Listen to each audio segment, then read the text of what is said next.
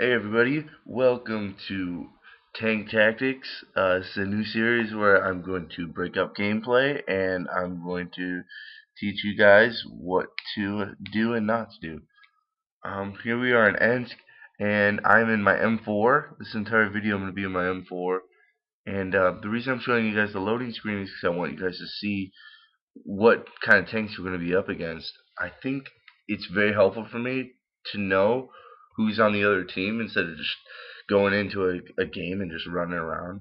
Because when I know what other tanks I'm facing, I also know a lot better what's going to be happening in the flow of the game.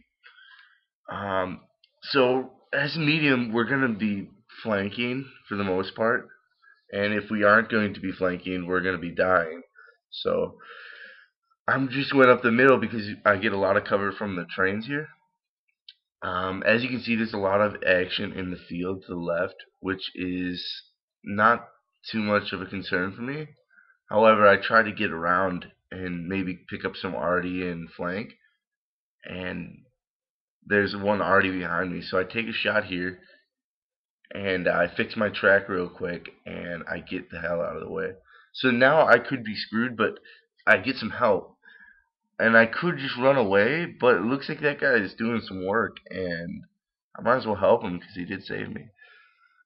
Um, so this brings me to a new point, and a point that if you're going to get into a battle or or you're taking damage, don't be afraid to get out of the way. I think I see a, a lot of people who who get into a fight, a gunfight, and they just sit there and just blast away at each other. Especially in a medium tank, you really can't afford to do that. Um, here I got attacked from behind, and I moved up on a Churchill tank, I think, yeah.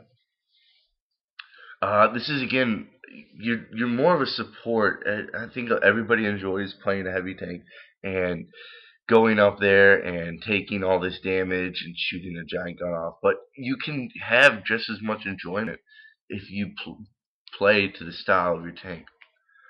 Um, this is the next clip, and this is in Westfield. Again, I'm in my M4, and there is uh, a Wolverine, an M10 Wolverine, a Churchill, and a two KV-1s. Aside from that, the other tanks I really don't worry about too much because I can handle them. Also, I've got the 76 millimeter M4A1, which is a complete beast. Without that, this tank is sort of mediocre, but with it, I think it's one of the best in the tier.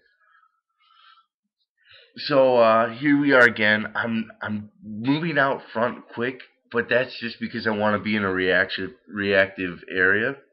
Um, I have a lot of cover from the tree, so unless somebody comes plowing through here, I shouldn't really have too much of an issue.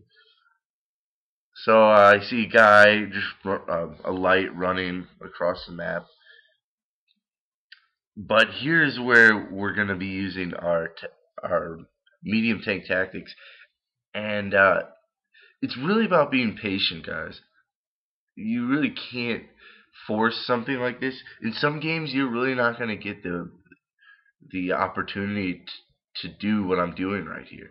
But you can create them by being patient. And you'll see this is just absolutely devastating because not only is a flanking good for the sake of armor penetration, but you're going to take less damage. You're going to feel pretty awesome doing it. And you're and you're going to be actually getting a real experience out of it versus running in there and guns blazing and get blown up.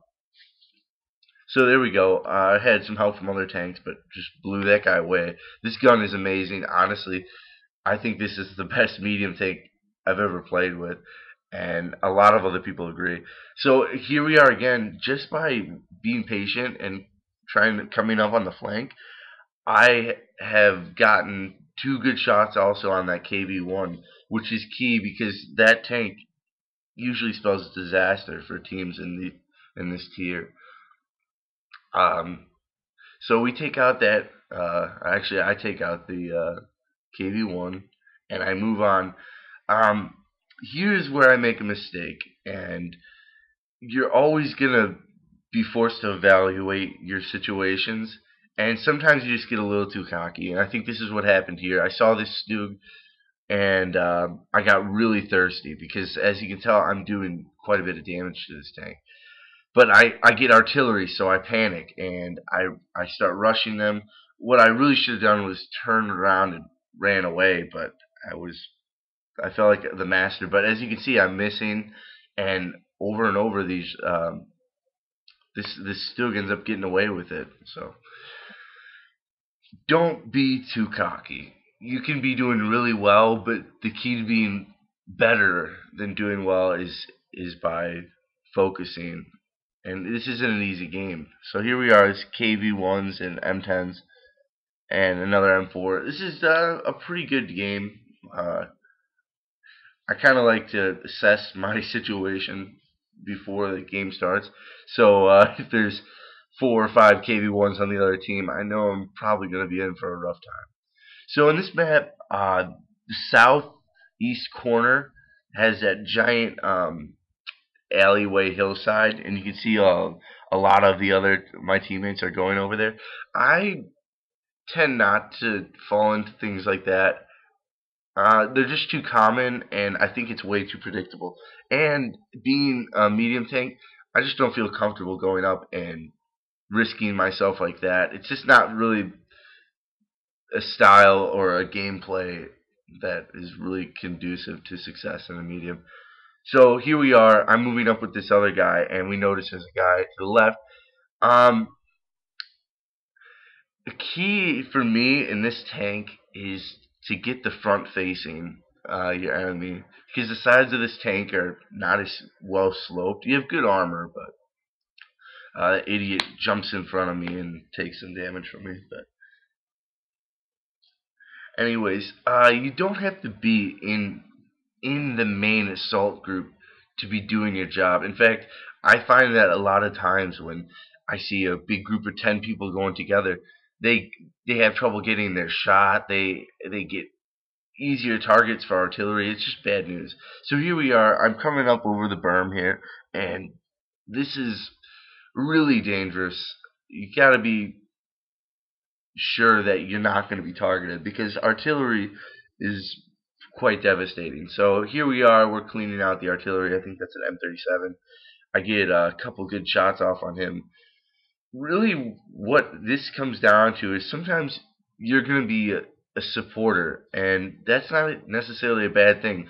If it wasn't for my attacks on that guy, we probably would have lost more tanks over there, and ultimately maybe even lost this, this skirmish over here. So don't be afraid to be support, and um, also don't be afraid to be patient. I think a lot of people get caught up in, in rushing and not really playing the way that their their tank is designed to play the game. And, and that's not me bashing anyone or anybody's playstyle. It's just I I find more enjoyment of, um, out of being successful, and you're successful by playing to your tank strengths. So that's it, guys. Um, thank you for checking this out. If you guys like this, come check out more, and um, I'll be sure to to add more videos on this. I'll be covering other tanks, um, heavies, uh, artillery, tank destroyers. If you guys have any questions, if you guys want to play uh, games together, just let me know. Um, I'm kind of busy, but if I can, that would be fun to platoon up with you guys. So um, check out my channel. I got other videos on other games. And um, thanks a lot. Have a good one, guys.